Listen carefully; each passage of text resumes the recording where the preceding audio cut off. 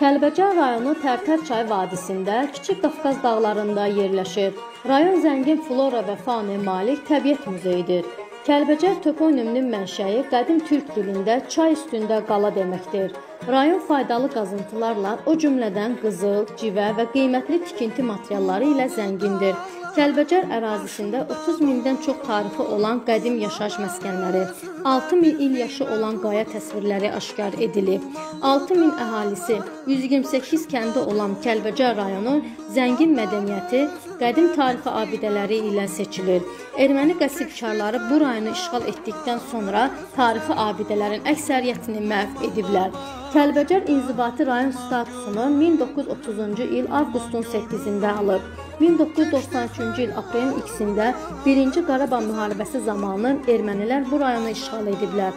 Kəlbəcərin işğalı zamanı rayonun 54 mindən artıq əhalisi köçkün düşür, 321 nəfər əsir düşüb, 511 nəfər isə vəhşiliklə qətlə yetirilib. Burada 97 məktəb, 9 uşaq bağçası, 116 kitabxana, 42 mədəniyyət evi, 9 xəstəxana, tarix diyarşünaslıq muzeyi, yüzlərlə inzibati bina, minlərlə mənzil talan edilib və rayonun milyardlarla manatlıq sərvəti Ermənistana daşınıb. BMT-nin və ATƏT-in prinsiplərinə zidd olaraq 1999-cu ildən Kəlbəcər rayonu ərazisində ermənilərin məskunlaşdırılmasına başlanıb. Kəlbəcərin işğalından sonra BMT-nin Təhlükəsizlik Şurası qətnamə qəbul edib. Qətnamədə bütün işğalçı qüvvələrin Kəlbəcər və Azərbaycanın digər işğal olunmuş rayonlarından dərhal çıxarılması tələb olunur.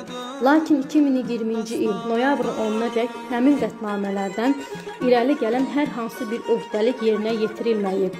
İkinci Qarabağ müharibəsi nəticəsində beynəlxalq təşkilatın tələblərini Azərbaycan ordusu Ali Baş Komandanın rəhbərliyi altında uğurlu hərbi əməliyyatlarla özü yerinə yetirdi. Beləliklə 44 günlük Vətən müharibəsinin diplomatik zəfəri olaraq bu gün Ermənistan işğal etdiyi Kəlbəcər rayonunu Azərbaycana qaytardı. Bu bizim növbəti qələbəmizdir. Bu gün Kəlbəcər rayonu işğaldan azad olundu. Bu münasibətlə bütün Azərbaycan xalqını ürəkdən təbrik edirəm. Əziz Kəlbəcərlilər, gözünüz aydın olsun. Doğma rayonunuz işğaldan azad olundu.